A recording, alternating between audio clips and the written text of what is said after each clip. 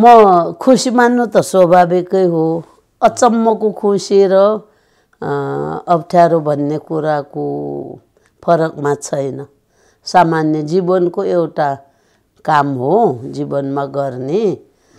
मान्छे भएपछि कुचो लाउनु पनि पर्छ सकियामा भाषण गर्नु पनि पर्छ। परीक्षाको एउटा तहगत जाँदै गर्दाखेरि सिँढी त्यहाँनिर खुट्टा परेको जस्तो लाग्यो अनि प्रयास गर्छु त आफूलाई चिन्छु। म को हुँ कस्तो छु समाजमा हिँड्छु म पनि मेरो लेभल हेर्नु पर्यो भनेर स्वयं आफूलाई चिन्न पनि मैले परीक्षा दिएको हो। मेरो मार्कसिटमा थुप्रै फुलीहरू छन्। कहिले फेल हुन्छु फेरि पनि अर्को पटक फर्म भर्छु। अब विश्वविद्यालयलाई अलिकति राजस्व मबाट गयो होला केही अंश तर दिन्छु भन्दै दिँदै रापंश भएर बौद्धल आए। त्यो त्यो पनि स्नातक पनि अलिअलिबाट गरिराख्या हो। राष्ट्रिय पञ्चायतमा हुँदा पनि मैले जाँच दिन्थेँ नै। कहिले कमर्सको कहिले के को कुन कुन विषय सोध्यो त्यहाँ रजिस्ट्रार कार्यालयमा अनि नियमले दिने के के छ त्योमा कहिले सिङ्गल सब्जेक्ट कहिले विषय बदलेर दिएको दिए गरिराख्या हो। चौवालिस पनि अझ ऊ हो आइएको सिङ्गल विषय हो। ब्याचलर त झन् पछि हो मैले गरेको। पछि हो ब्याचलर क्लियर गरेको त कल्चर र पोलिटिकल साइन्सबाट गरेँ। त्यो पनि त्यस्तै ढिलो ढिलो फारो गर्दै अब जागिर खानु छैन। आफूले यही न्युमा परीक्षाको न्युमा एउटा दुईवटा शब्द पनि ज्ञान हुन्छ। सकिन्छ कि सकिँदैन भन्दै प्रयासमै रहेको सधैँभरि। अब मैले त कमर्समा पनि दिएँ अनि कमर्सको एकाउन्टेन्सी भन्ने के स्ट्याटिस्टिक्स भन्ने असाध्य गाह्रो भयो। मलाई पढाउने ट्युसन पनि राखेँ। ट्युसन पैसा नदिने आफै नै समय निकालेर आइदिनु भयो। उहाँ ठुलै ओहदाकै मान्छे हो। उहाँले निकै प्रयास गर्नु उहाँ आएर बसिराख्ने मलाई समय नपुग्ने। मिटिङ जाने के गर्ने फोनमा कुरा गर्ने गर्दाखेरि सकिएन अनि सिङ्गल सब्जेक्टतिर आर्ट्समा दिएर अनि त्यताबाट फेरि पोलिटिकल साइन्समै दिएँ है सिङ्गल। अनि पछि फेरि ब्याचलरमा पनि पोलिटिकल साइन्स र कल्चर गराएर दिएको। पटक पटक यहाँले सोध्नुभयो नि प्रश्न अहिले के छ भने मार्कसिटमा धेरै नम्बर आओस् एउटा बिदा लेख्ने स्कुलमा बिदा माग्नु पर्यो भने शिक्षकलाई बिदा लेख्ने तरिकाको निवेदन लेख्न जान्दैनन् विद्यार्थीहरू। म कस्तो हो कि प्रथाजनित शासनमा मेरो परिवार मेरो अभिभावकहरू तालुक अमालका जिम्मेवारहरू होइन मेरो जेठा दाई बैदार हुनुहुन्थ्यो सचिव जस्तै कि अनि उहाँले थुप्रै कागजहरू लेखिराख्दाखेरि म नजिक गएर हेर्ने ध्यान दिने रुचि ल्याएको देखेर उहाँले के भन्नु भने योले निकै चासो ल्यायो भनेर पन्ध्र सालमा पार्टी काठको पार्टी मुस्याएर अनि खरी लेखिदिनु भयो क ख ल पढ भन्नुभयो अनि उहाँले जे जे भन्नुभयो यति दिनमा यो तयार गर त क ख चिन्नुपर्छ। अ आ चिन्नुपर्छ भन्नुहुन्थ्यो।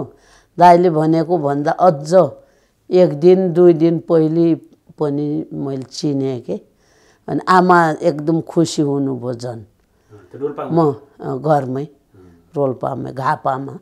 अनि आमा खुसी भएर हामीलाई त बच्चा हुँदा त चुरा नै सबभन्दा प्यारो हुने। मेरो हातमा चुरा देख्नु भएन छ बाला मात्रै देख्नु भएको। अनि ल नानी राम्रो गरी पढ मैले थुप धेरै चुरा मगाइदिन्छु है कोइलाबासबाट। कोइलाबास नुन लिन जानेलाई ल्याइदेऊ भन्छु चोरा लालास ल ल पढ भन्नुभयो। अनि आमा पनि ताठो वरिपरि हिँड्दाखेरि महिलाहरू कतै कतै पढेका देख्नु हुँदो रहेछ। अनि आमाले रहर गरेर उत्प्रेरणा जगाउने दाइले यसले त सकिस् भने लेखेर सघाउलास् नि भन्नुभयो अब रैती गहिरो भन्ने हुन्थ्यो है। गजपत्रहरू लेख्ने गजपत्र भनेको नेपाली कागजलाई भातको माड बनाएर गुँद कहाँ पाउनु है? त्यो टाँसेर लामो लामो गजपत्रमा। गज भनेको यो पुरै हातलाई एक गज भन्ने चलन के? गजपत्रहरू लेख्दा सघाउने मान्छे चाहिने। दाइले आफूले महसुस गरेको। सघाउने मान्छे कोही छैन। अनि दाइले सघाउने मान्छे भए राम्रै हुने भन्ने सोच्नु भएछ अनि कोही कोहीको चिठी आयो टाढाबाट चिठी आयो भने खास गरी इन्डियाबाट आउँथ्यो नि चिठी। अनि त्यो पढ्न ल्याउने गाउँलेले पढिदिए त नानी भन्ने। मैले पढ्न लागेँ भने वरिपरि सब भेला भएर सुन्ने। चिठी आँगनभरि मान्छे भेला भएर। अनि माथ्नो घर काकालाई ढोक छ अनि पाल्नो गाउँ फुपूलाई पनि सम्झना छ यस्ता कुराहरू आफ को को छ नि? त्यस्तो लेखेर पठाएका हुन्थे। कोही कोहीले त श्रीमती गृहलक्ष्मीलाई पनि ढोक छ भनेर पनि लेखेका। उमा त्योबाट प्रेरित भएर पढ्दै गएको र आखिर उहिले पनि महत्त्व रहेछ। पढ्ने मान्छेको महत्त्व रहेछ। अहिले मैले यो विषयमा कुनै किताब हेर्नु पाउँछु नि भनेर अब त्यो पोलिटिकल साइन्सबाट सिङ्गल सब्जेक्ट आइए आइएडले सिधा नपाउने कि रेगुलर मात्रै प्राइभेट नपाउने। अनि सिङ्गल सब्जेक्ट पास गरेपछि त्यहाँ मैले कहीँ कतैका संविधानहरू भए सरकारका कुरा होइन? सरकार एकात्मक सरकार सङ्घीय सरकार भन्नेहरू तिनीबाट अलिअलि ज्ञान भयो। नत्र राष्ट्रिय पञ्चायतभित्र त्यस्ता एक्सर्साइज के विधेयकका कुरा धेरै ज्ञान भयो म। अनि जोड्दै जोड्दै जाँदाखेरि अपुग नै लागिराख्यो कि? झो झोला नभरेको बजारमा केही चिज किन्न जाँदा झोला आधा भएको जस्तो लाग्यो कि? पहिलाको जस्तो राति लामो समय बस्न सकिँदैन बिहान पनि साह्रै बिहान उठ्नु सकिँदैन। उमेरले यो ज्येष्ठ नागरिक भत्ता त्यसै दिएको रहेनछ। जस्तो भइरहेछ रहर त छ अहिले शारीरिक रूपले। भन्नु त पढाइलाई उमेरले छेक्दैन। मलाई देख्नेहरूले पनि अहिले धेरैजनाले भन्दै हुनुहोला। वास्तवमै फिजिकल रूपमा छेक्छ नछेक्ने कुरा होइन। पहिला ए मास्टर्स पास गर्न पनि सुरु सुरुका वर्षहरूमा मैले दुई दुई पटक कपी पनि थपेँ धेर धेरै लेख्थेँ। पछि पछि घट्दै गयो घट्दै गयो। अब यो पछिल्लो समयमा साह्रै गाह्रो हो लेख्न के? चार घन्टा पनि कसरी बिताउँ जस्तो पन्ना बढी लेख्नु पनि हात पाटिने औँला दुख्ने त्यस्तो हुँदै गयो। त्यस्तो अरूले पनि भोग्नु भएको होला। पहिलो नम्बर त नेपालको चलन के छ भने शिक्षामा कुन देशले फन्ड गरेछ ऊ देशको इन्ट्रेस्टमा करिकुलम बन्छ प्रोग्राम बन्छ के? त्यस्तो त्यो टोकन भजाएको जस्तो गऱ्यो भने स्थायित्व हुँदैन।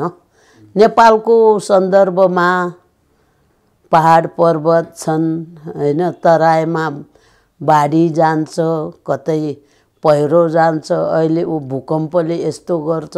यस्ता कुराहरूको परिकल्पना गरी अब अभिभावकहरूलाई पनि महत्त्व दिनुपर्छ कि। अभिभावकहरू नपढेका भए पनि ज्ञान त छ नि उनीहरूसँग गाउँघरको ज्ञान। दीक्षित नभए पनि अनुभव त छ। त्यस्तोबाट अलि थाहै खालका करिकुलमहरू निर्माण गरी निरन्तर नआत्तिएर गए हुन्थ्यो। हाम्रो के छ भने विद्यार्थीले मार्कसिटमा शत प्रतिशत नम्बर पाएको महानता आफ्नो ज्ञान खोक्रो भए पनि देखाउने कागज बढी नम्बर हुनु पर्यो। नीति निर्माण गर्नेहरू पनि स्थिर छैनन् के? टोकन सिस्टमको चलन छ। लिबाङमा गएँ गाई गोरुसँग म नडराउने घरबेटीको बहर एकदम मान्छे हान्ने रहेछ। सबैलाई तर्साउने। मैले त्यो बहर बहर समातेको देखेर कर्मचारीहरूले जात्रा नै हेरे ऊ जस्तो। यहाँको गाई जात्राको रमाइलो जस्तो। यिनी नानीले त बहरलाई यस्तो अचम्म गरी समातिन्।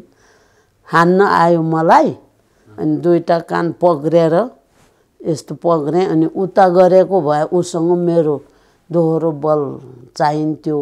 म पछाडि दौडिदिएँ के? पछाडि दौडिँदा उसको आँखा माथि पऱ्यो तल देखेन। तरिका नमिलेकोले तर्सेको लिबाङमा म स्कुल फर्स्टै भएँ। जति पढेँ नि पहिलो वर्ष साधारण पास।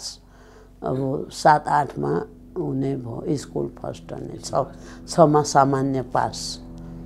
लगेर ढिलो नाउँ लेख्दै पनि पछि परीक्षासम्मलाई कभर गरिसकेँ मैले। नौ दस नौ दस दाङ। दाङ भयो। त्यहाँ पनि भरतपुर स्कुलमा। कति हुनुहुन्थ्यो महिलाहरू?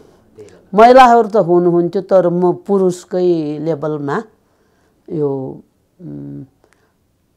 वाद विवाद भयो हिज्या भयो प्रवचन साहित्यिक कार्यक्रमहरू यस्तो यस्तो अतिरिक्त क्रियाकलापमा पुरुषहरूसँग अरू महिलाहरूले भाग लिँदैनथे म पुरुषहरूसँग हाजिर जवाबहरूमा आफ्नो टिममा राख्नुहुन्थ्यो साथीहरूले अनि आइबी पढ्न त्यसपछि रोल्पा आमाले भन्नुभयो यो एसएलसी भन्दा हुन्न नानी म त नबसौँ दाङको घाममा गइहालौँ भन्नुभयो। अनि एसएलसी जाँच दिएपछि उसले सरहरूले त्यहीँको होम साइन्स तल्लो कक्षामा छ सातमा पढाउने जागिरै दिनुभएको थियो भरतपुर स्कुलमा।